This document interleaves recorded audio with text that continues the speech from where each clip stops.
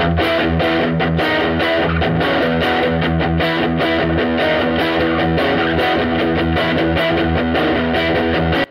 to For the Clarity and Closure of the Viewer's Comments.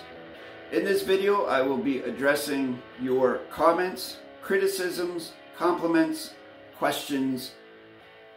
What energy you bring here, I will return to you with the maintenance of Rule 1, Rule Equal, the balance of the honor and the grace, and the possession of peace and neutrality. Keep in mind, no one is twisting your arm to be here, so keep that in mind. If you are going to make claims or if you are choosing to not read the terms and conditions of the comments field, well, then you get what you get and you don't throw a fit. Now, I don't ever take anything personally here. I recommend that you do the same.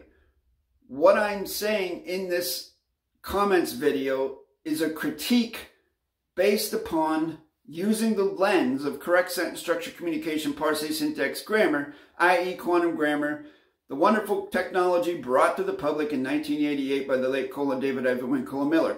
Keep that in mind. Everything I say is pretty much through that lens. So with that in mind, let's get to it.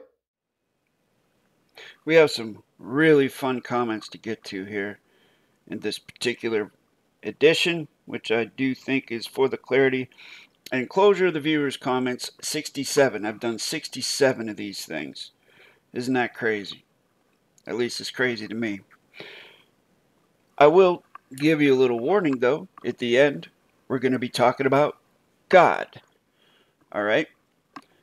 Now, I know every time I mention that concept on this channel, and I mention it in the context of correct sentence structure, communication, parse, syntax, grammar, and about knowing what a fact is, and being able of able to certify said fact to another contract party using a continuance of the evidence.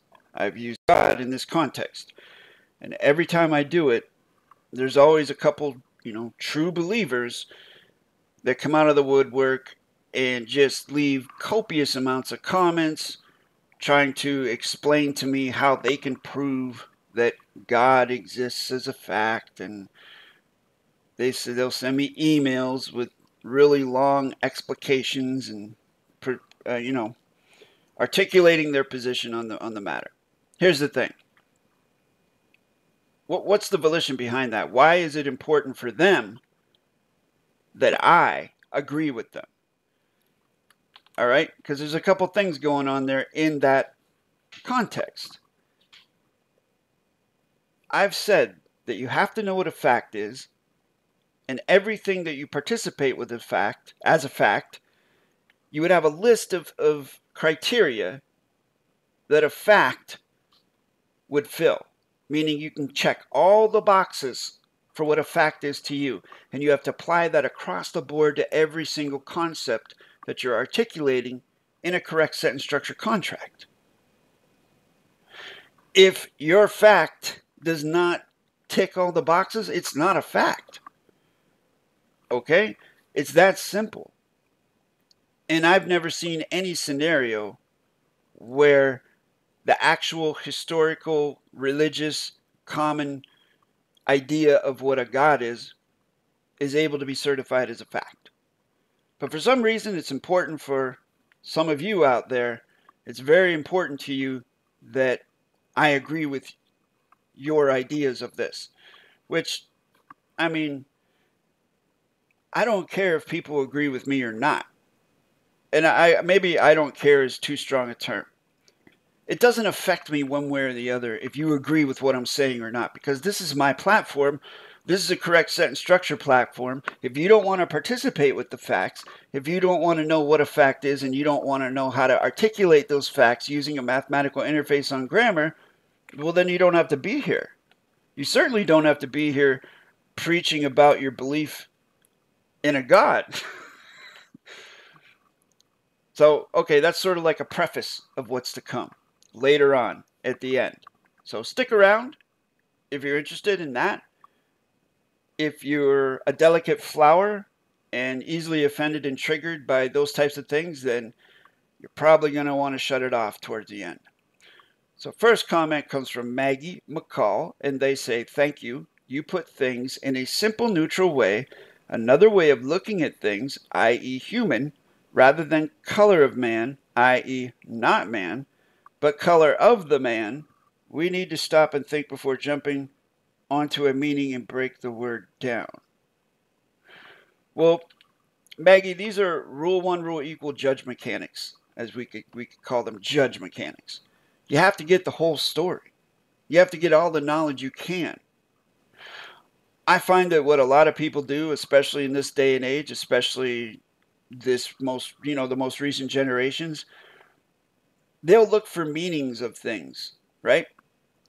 And when they find a meaning that vibes with them, that's congruent with the way they think, their particular bias, they'll stop there and just agree with it and then all of a sudden participate with that particular piece of data as a fact rather than getting the whole story, rather than getting all the points that maybe don't agree with their personal bias.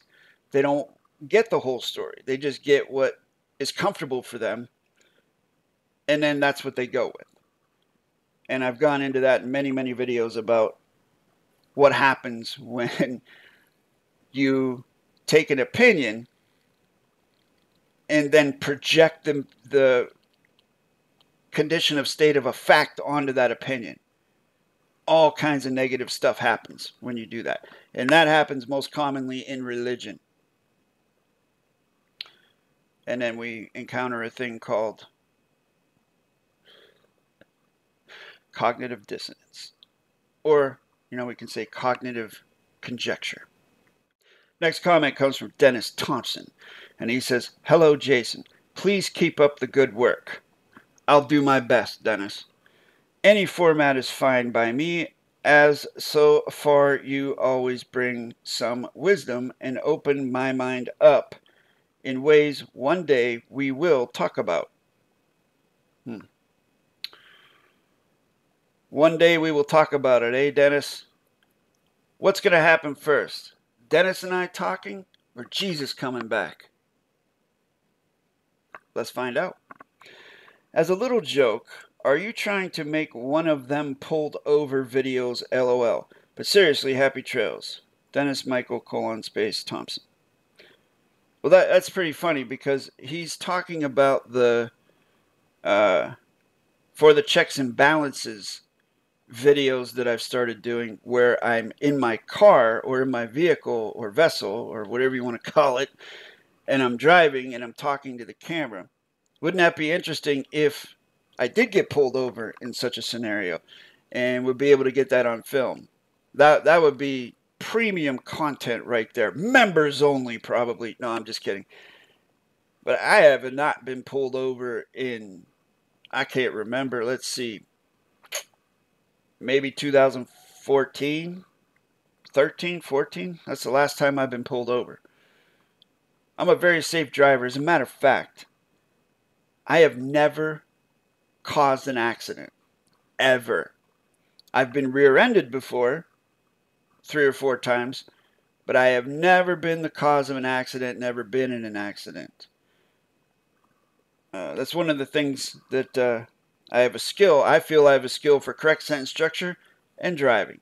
That's why I can never, ever have like a a, a Hellcat or a Scat Pack or anything like that because I'd probably be in a lot of trouble within a week or two of having such a vehicle.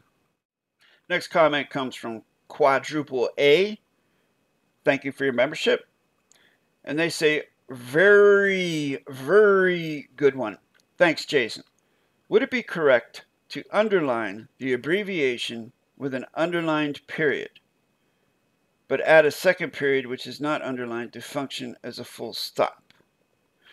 Now, here's the thing. Okay. Bear with me. I have been putting videos out since February of 2018. I would not put out a video giving closure to mechanics of correct sentence structure, communication, parse, syntax, grammar if I didn't fully participate with what was being conveyed in the video. So this individual who does not have closure on the grammar, this individual who leaves very thoughtful and grammar related questions on this channel on a consistent basis, which thank you very much for that, quadruple A. I do appreciate it. This individual who, in asking these thought provoking questions, I usually try to give a little bit of closure, a little bit of uh, advice to study further with these videos, and then also try and steer them towards doing a workshop if they're serious about learning the grammar. Because someone who asks this many questions, if they're that interested in it, then the next logical step would be to commit to doing workshops rather than trying to get closure through a comments field. Because the thing is, and I've said this over and over again, quadruple A, a comments field on YouTube is not an efficient place to share closures. Simple closures, yes. Okay? But a lot of the things that you ask require longer explication, hence the 900 or so videos on this YouTube channel that are available for you to study.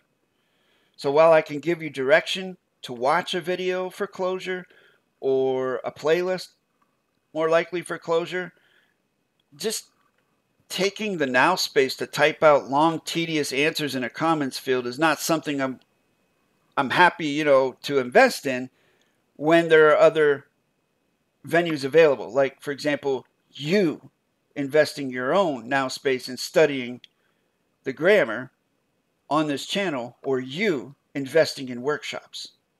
And I know you're going to say, I'm not ready to invest in workshops and blah, blah, blah. That's what you've been saying for months. So when you're serious about it, you will do it. Nothing will stop you from learning it. But as it is, I'm doing the best I can. You're doing the best you can. So take this as you will. I would not put something in a video if I was not 100% sure of it. So what you're doing here is asking me if what I put in the video is correct. I've already answered the question that you're you're asking here, which it's not really a question because there's no question mark there. But you're saying, would it be correct to underline the abbreviation with an underlined period, but add a second period which is not underlined to function as a full stop? You would have a question mark after the word stop there if that were an actual question. Perhaps English is not your first language. But again, to address this for a third time, I would not put something in a video if I was not 100% confident and sure of what I was saying and I give closure to that. So the answer to that is no, it's not correct. And if you would gain closure on the grammar, you would be able to answer your own question.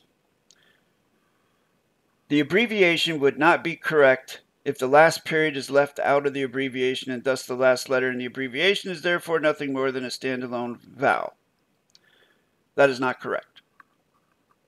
Watch the video again the period, the full stop at the end of the abbreviation functions as a full stop to the abbreviation, to the letter that it follows, and if the period is not underlined, it also serves as a full stop to the sentence. Thus, the period functions as a full stop. The underline functions as a mechanic that dictates what type of full stop it's going to be with regards to the abbreviation, which again is explained in the video. The abbreviation is therefore not correct. Again, quadruple A, you are not correct because you don't know the grammar.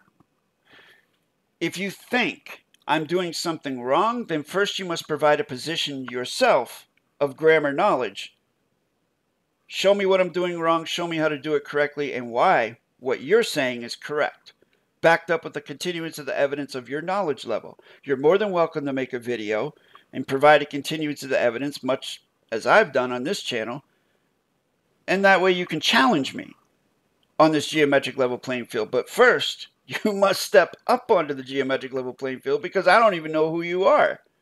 You don't even use your correct name or anything like that.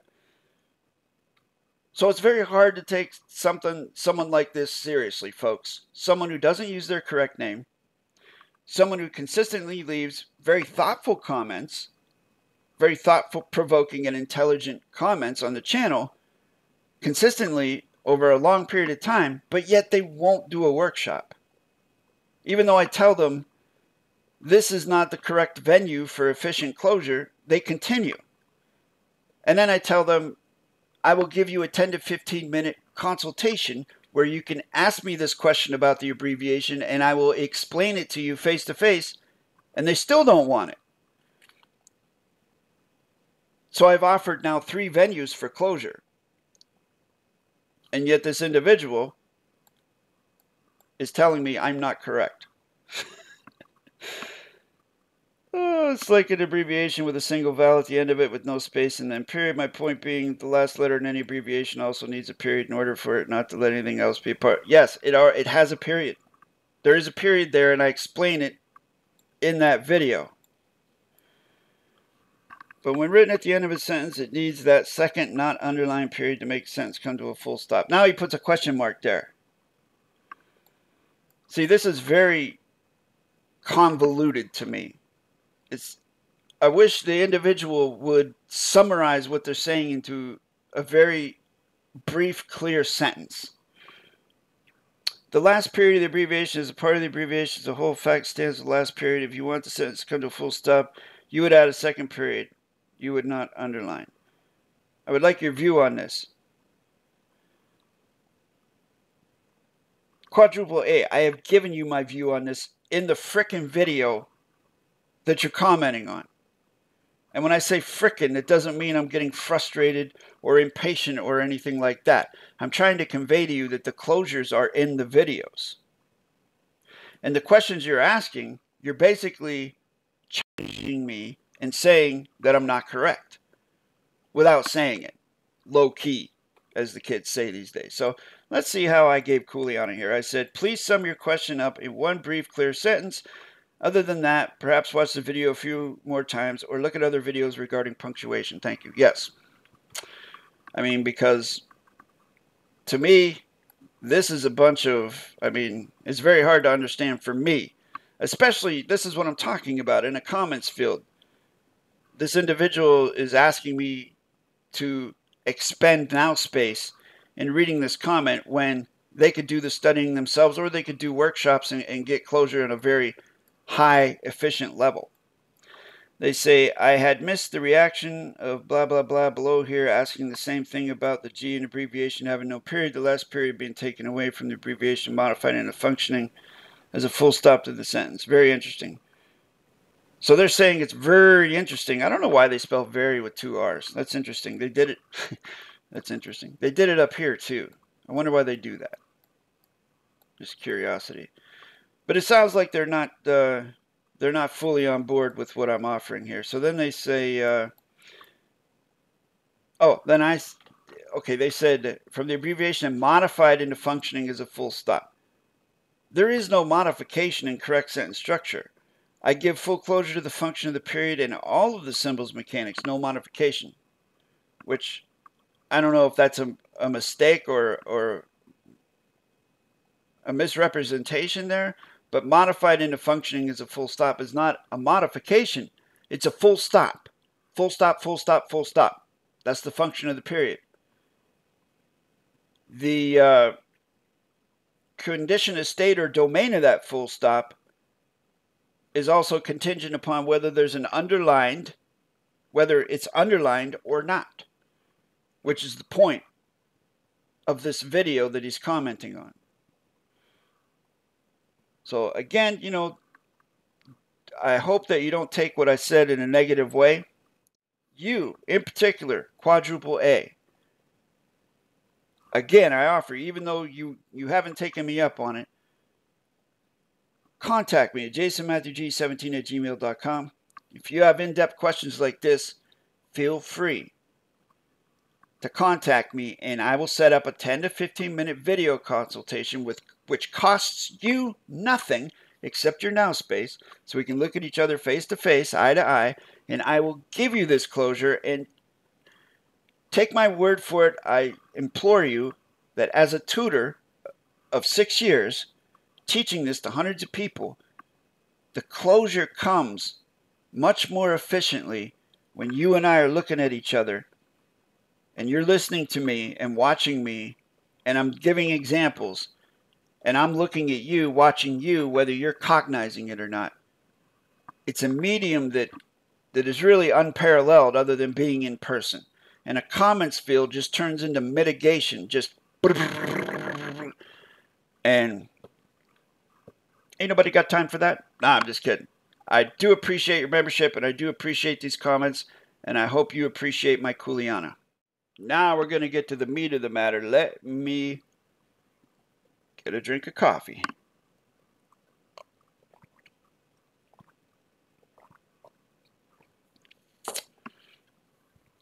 So this individual, Pi 314 blah blah blah, also known as Kenneth Wayne Cowton, which, by the way, if you look at that name, uh, I mean, it doesn't matter because it's in brackets, but the spacing after the uh, full colon is incorrect. So this individual says, for the claimant's knowledge of the fact. So we're talking about one fact here I usually put facts for the claimant's knowledge of the facts because there's more than one fact being conveyed. Is with the cognition claim, so it's a claim of cognition of the creator. So cognition claim is possessing the fact. Which fact it is, I don't know.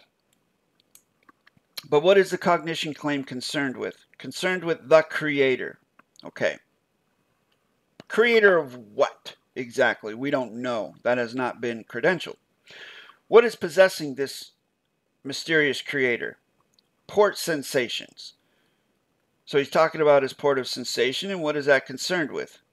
Creation. Okay. And what's possessing the creation? The cogitation. So cogitation is thinking. So thinking is possessing the creation. And what is the authority of the cogitation? the witness and claimant, Kenneth Wayne. So going backwards, for the witness and claimant, claimant Kenneth Wayne, what's he concerned with? He's concerned with the cogitation. He's concerned with thinking. Is with the creation. So the creation is possessing the thinking, concerned with the port sensations possessed by the creator. I know what Kenneth is talking about because he's commenting on um, it's either a video or a post that has to do with God. And he's using the word creator for that. So this is what he's referencing. And then they say, for the claimant's knowledge of the fact, again, singular fact, so they're claiming one fact, even though there's multiple facts here, missing a hyphen between claimants and knowledge, which throws the whole thing into adverb verb adjective pronoun, is with the cognition claim of the creator with the creator's plan of the timeline. Time is no contract because it doesn't exist, at least in my domain of correct sentence structure, with the creation steps of the consciousness, with the picture of the guidance with the cogitation by the witness and claimant. For the witness and claimant of the cogitation is with the guidance of the picture. So Kenneth, Kenneth's thinking is guiding the picture possessed by the consciousness concerned with the creation steps with the timeline of the creator's plan So what is he saying here? He's guiding the picture of the creator's plan. That's interesting. Please Google Mayan calendar of consciousness for graphical depiction and video explanation.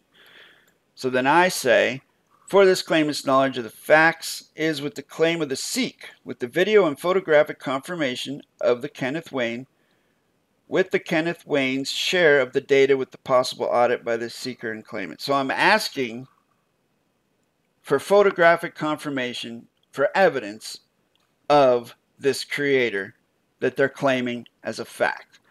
I know their volition is to claim the creator as a fact, and so I'm asking for hard evidence of this. And then I say, sir, using you are using a fiction source of fiction history for your proof of a creator, meaning Mayan calendar of consciousness. In your correct sentence structure, you state as a fact that you are a witness to a creator. Correct? I'm asking you for first-hand proof of that. You know, pics, videos, etc. So I'm asking for a continuance of the evidence for his first-hand knowledge of a creator. Now, sending me to Google or to a fiction Mayan calendar is not evidence. At least, not in this context that I'm asking for. Like if I if, if I say to you this is a cup, I can prove it's a cup to you using first-hand knowledge. Hand it to you, you can touch it. There's liquid in it. We can prove this. All right?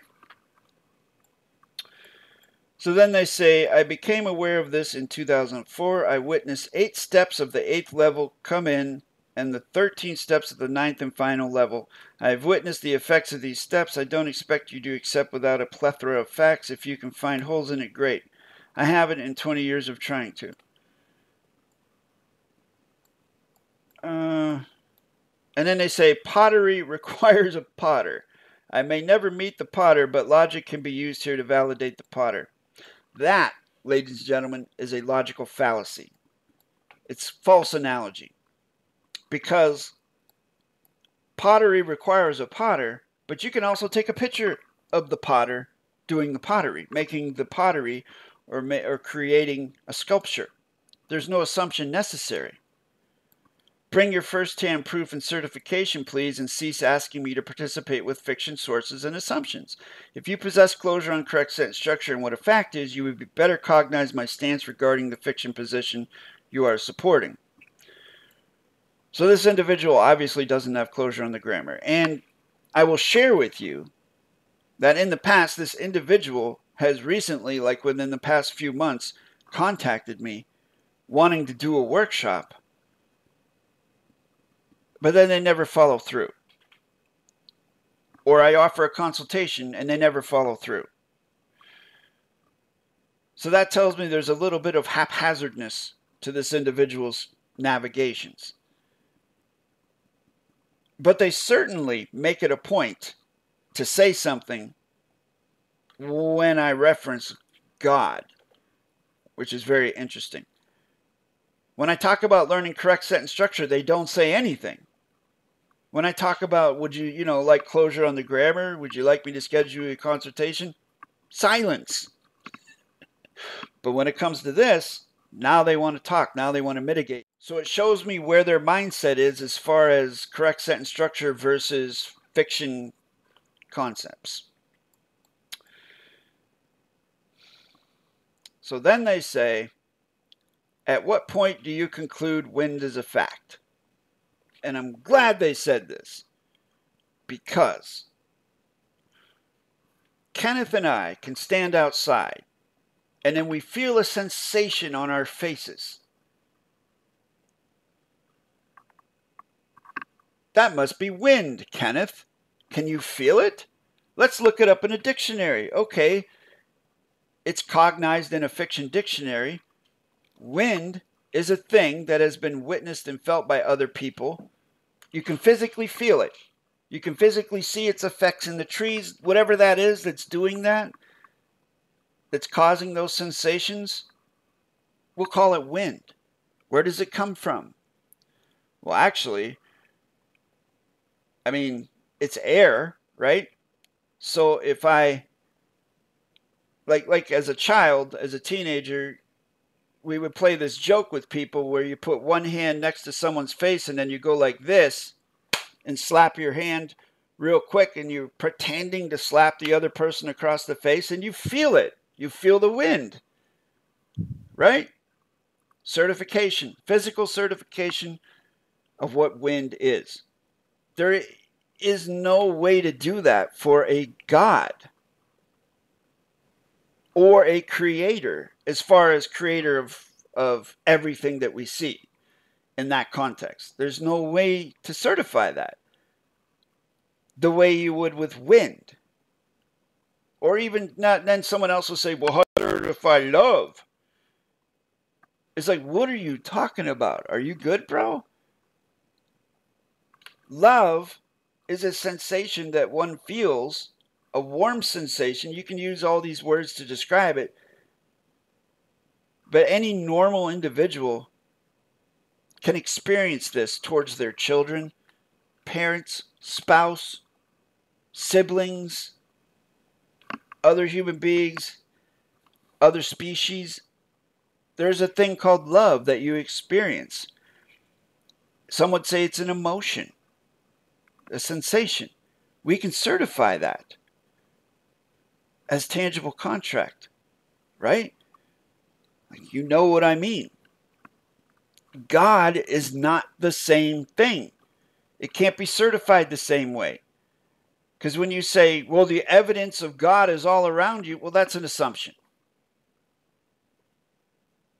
When someone sac- makes a sacrifice for someone else, for, for an example, um,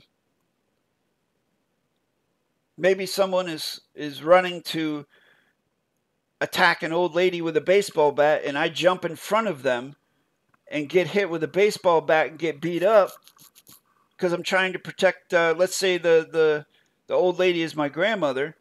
It's out of love. I did that out of love. That's evidence.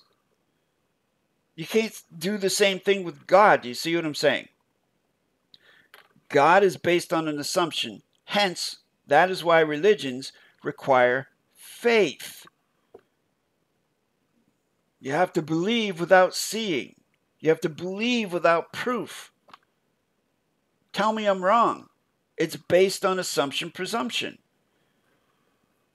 Here we have all ports of sensation observing the creation, and now I have a precise timeline of the execution that I have validated perhaps a hundred ways. You've a timeline of the execution? The execution of what? Do you know what execution means? I'm seeing pictures of people going to a chopping block with a dude with a hood on and an axe executing. That's an interesting choice of words. It's easy to dismiss I was atheist, agnostic, and. Okay. The books have many ciphers in them and, of course, can't be taken literally. The books are adverb, verb, adjective, pronoun, fiction, babble. First of all, if you knew how to syntax, you I think you would cognize this. Rest on the seventh day, each level completes on the beginning of the seventh step, 144,000, the numbers of days in each step of the sixth level. But the paleontological and written records, albeit some have been obscured, like the sun orbits the earth, line up as well. See, this this has no like meaning or value to someone like me who participates with the facts in a correct sentence structure, communication, parsing, syntax, grammar, context. This individual is talking about a fiction babble text. And it's my position, and I made this clear, that any type of text like this is an elaborate psychological operation control system. And when someone like this comes to me you know, preaching this type of thing, trying to convince me of these things. The only thing it convinces me of is the success of this PSYOP control system. Because anyone, I feel, anyone who has closure on correct sentence structure, which this individual doesn't, is a critical thinker who does not participate with assumption presumption, which this person is obviously a critical thinker, but they're also obviously participating with assumption presumption because you're participating with something you cannot prove. Um, then that tells me, it gives me a clue as to why this individual most likely finds correct sentence structure a challenge and why they won't address that deficit in knowledge. So it makes me wonder, you know, why, you know, on a deeper level, why is someone like Kenneth here?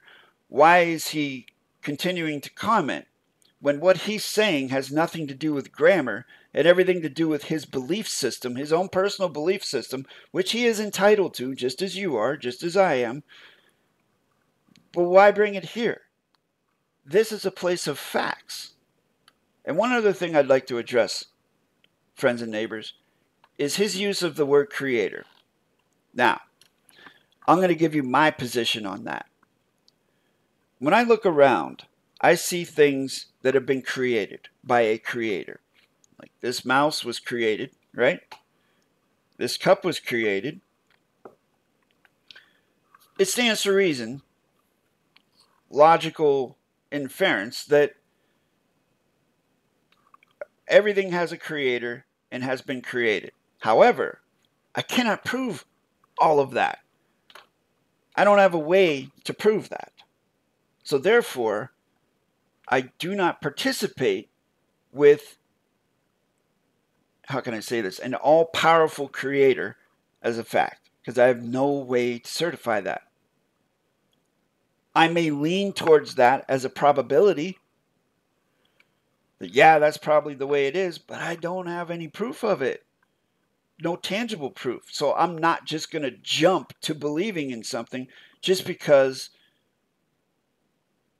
it logically makes sense circumstantially. oh man, I hope I, I hope this is getting across to you folks out there, and especially to Kenneth. Because I can see it's very important for him, for some reason, for me to at least acknowledge what he's talking about. Now, I don't know what he's talking about as far as the, the steps the the numbers he's talking about, the eight steps or the 12 steps. I don't know what type of steps he's talking about, but it doesn't really matter to me because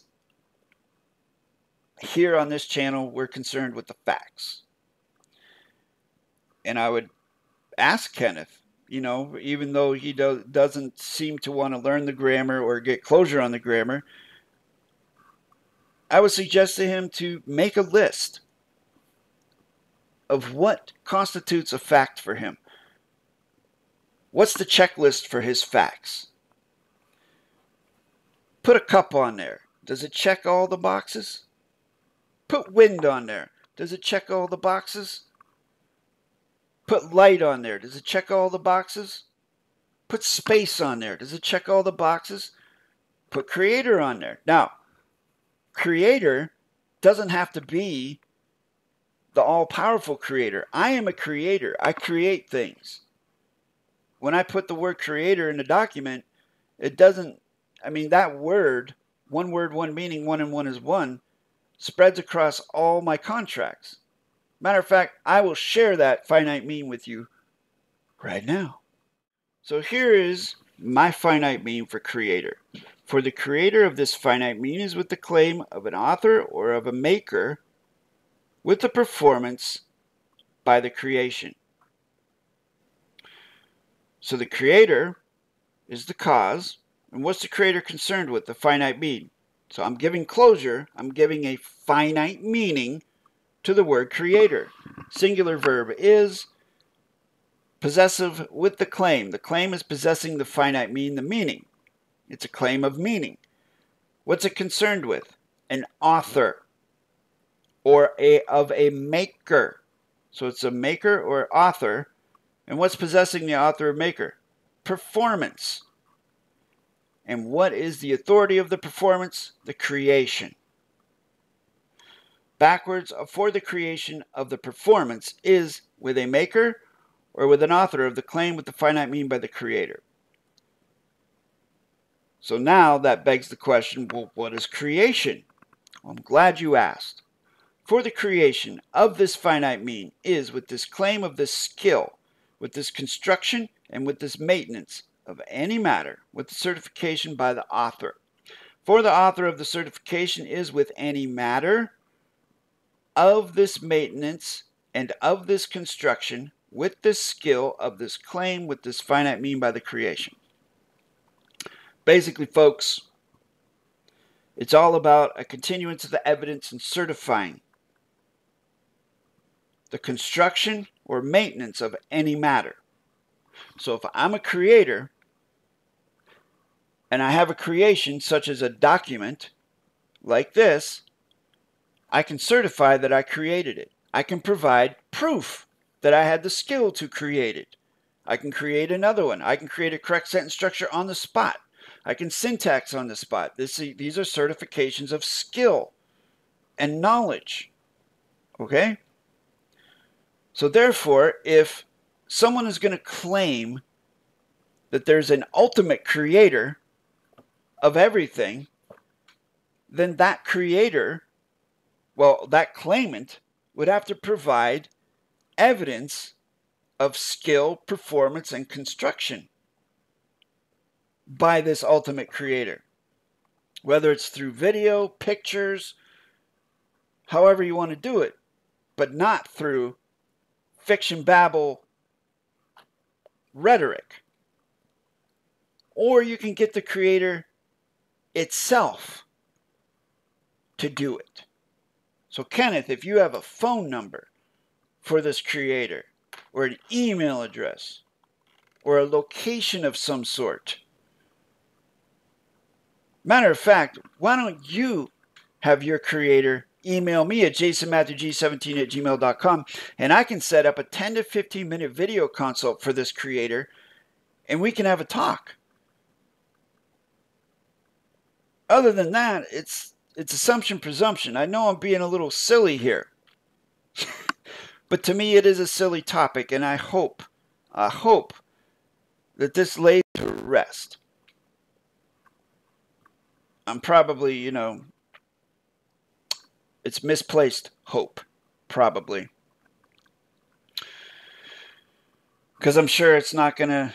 I mean, because Kenneth has, he appears to have very, very strong beliefs in this. He's convinced of whatever this is for himself, which is cool. He can participate with this creator stuff and this level stuff as a fact if he wants to for himself. But what he can't really do is share that or prove that to someone else, especially not someone like me, especially when he doesn't have closure on grammar, which is the most important thing as far as this channel goes. All this stuff about God and creation and things like that, that's side stuff, periphery stuff. So I'm not going to spend any more now space talking about it as far as the comments field, as far as this guy leaving comments and things like that, this this is the end of, of me talking about it. This is my position. And I don't see any way that this guy can prove anything unless he does have his creator contact me at jasonmatthewg17 at gmail.com. Hope you found this entertaining, folks, and I hope to see you in the next one. If you would like to learn correct sentence structure, communication, parse, syntax, grammar, I offer several choices. The first one, and the easiest one, is to study the almost 900 free public videos on this YouTube channel that you're watching right now. The second option, if you want to see new content, is to click the join button on my main YouTube page or under any video that you're watching. Click the join button and you will see two tiers of membership. If you choose the second tier, the Loyalist Contributor tier, and you join that for a monthly support donation, you'll get new content, fresh content, exclusive content not available to the public every month. But keep in mind, there's already almost 900 videos here free to the public to study. And the third option is to contact me at the email address at the bottom of your screen and this is for the serious students only, and apply for a correct grammar workshop. But please include your correct name when contacting me, and I'll set up a 10 to 15 minute video consultation, and you and I will have a conversation. You can ask me whatever you want. I'll answer your questions. I'll do the same with you. I'll ask you questions and we'll see if indeed you are really serious or not. Thank you.